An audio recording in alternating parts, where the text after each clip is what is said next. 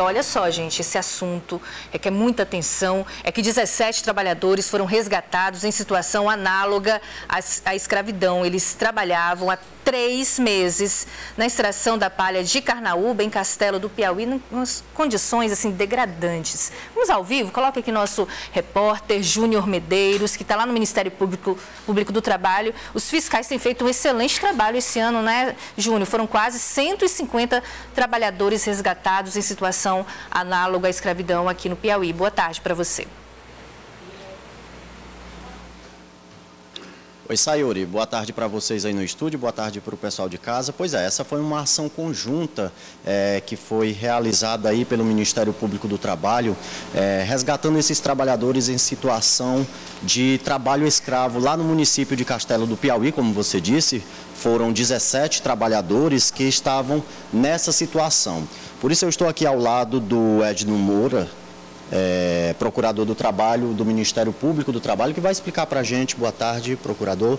Queria que o senhor explicasse para a gente que situação esses trabalhadores foram encontrados. Mais uma vez, boa tarde, bem-vindo à bancada Piauí.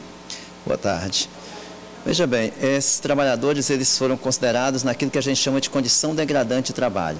Aquilo que você, a, a, o que você oferta a esses trabalhadores, eles não são aquelas condições mínimas para que você possa é, é, considerar que aquilo é adequado para a prática do trabalho. E o pior de tudo nessa situação foi a questão do alojamento que esses trabalhadores estavam. Então, é, alojamentos inadequados, sem é, as condições sanitárias para que eles pudessem fazer suas necessidades. É, eles se alimentavam também nos, no, no, na, na frente de trabalho, ou seja, sentados em paus, pedras, em locais improvisados. E eles tinham que se deslocar também a pé desse alojamento improvisado até a frente de trabalho, que dava algo em torno de 3 quilômetros para ir e para voltar. Além disso, a maioria desses trabalhadores não estavam registrados e não, não possuíam é, equipamentos de proteção individual para completar esse conjunto de condições degradantes é, que configura uma das hipóteses do trabalho análogo à escravidão. Doutor Edno Moura, nós já vimos algumas situações, até a gente já vinculou aqui na TV Antena 10, de trabalhadores que já foram resgatados em outros estados, que eram filho aqui da, filhos da nossa terra, aqui do Piauí. Esses trabalhadores, eles eram daqui do Piauí, eles eram da região vizinha, de onde é que esses trabalhadores, eles eram oriundos? Todos esses 17 trabalhadores eram piauienses, o resgate ocorreu em Castelo, a maioria deles era de Castelo do Piauí e outros eram do município vizinho, de Buriti dos Montes. Então ficavam todos na região é, de Castelo do Piauí. O que é que pode acontecer agora com o, o empregador desses trabalhadores? Pois é, esse empregador, infelizmente, ele já é reincidente. Ou seja, ele já havia flagrado trabalho escravo ou redução de pessoas a condicionado escravo em um outro período. Então ele já vai responder, já está respondendo a um processo criminal e agora vai se intensificar e ele foi responsabilizado com relação às verbas trabalhistas e a indenização do dano moral coletivo. Então, é, no momento, ele já pagou parte dessas verbas e vai continuar pagando é, nos termos de um acordo que foi firmado com ele é, no momento do resgate. No total, somando verbas rescisórias, indenização por dano moral individual e um dano moral coletivo, ficou em algo em torno de 140 mil reais para que ele efetue o pagamento.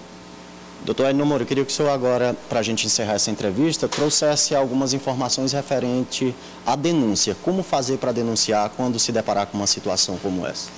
Pois é, o, você pode acessar os nossos canais, canais aqui do Ministério Público, pode ser no nosso site, é um dos, dos meios para isso.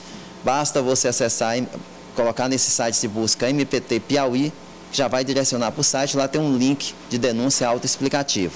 Mas você também pode fazer a denúncia por Disque 100, é simples, Disque 100, e aí eles encaminham a denúncia para o Ministério Público do Trabalho, ou pode fazer via WhatsApp no nosso telefone 99544-7488. Uma denúncia fácil, é importante que as pessoas coloquem o máximo de informação possível.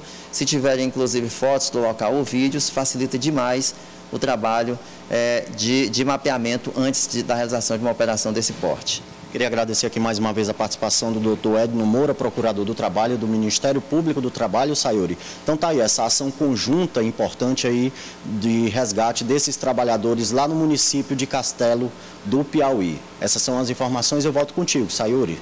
Obrigada, Júnior. Agradecer também ao procurador Edno Moura sobre trouxe essas informações e parabenizar pelo trabalho, né, dos fiscais essa ação conjunta. Obrigada, Júnior. Lamento por ser em minha Castelinho. Sabe quanto é que rende esse trabalho da, da estação do Plano Carnaval só no Piauí? Hum. Mais de 130 milhões de reais ano. A gente Mais exporta, de 130 né? milhões exportamos. A cera. E detalhe, Sayuri, somos o maior produtor do Brasil aqui e em não Piauí. dá para a gente gerar riqueza com base em Absurdo. trabalho de trabalhador escravizado, como a gente está vendo nas imagens, Pedro. Vem cá, Olha, não acaba que absurdo. Não, não acaba não. Todo dia tem reportagem, não acaba não. Pois é, a gente Todo vê... dia tem reportagem trabalho escravo, não acaba é porque não. tem isso. gente buscando, né, driblar a lei, achando que não, que está tudo bem pegar um trabalhador, não, submeter porque... essa situação e achar que está tudo é bem. É porque a punição é multa. Se fosse outro tipo de punição, Cadeia. minimizaria. Mas multa, multa paga a multa e acabou-se. Pois é, a gente tem que parabenizar os guerreiros. Os fiscais são poucos os fiscais de trabalho, é. né? A gente sabe que eles fazem um trabalho muito aguerrido. Já deu até morte em Unai, Minas Gerais, lembra? Pois é, é e, excelente. Já foram quase 150 trabalhadores resgatados no Piauí só este ano.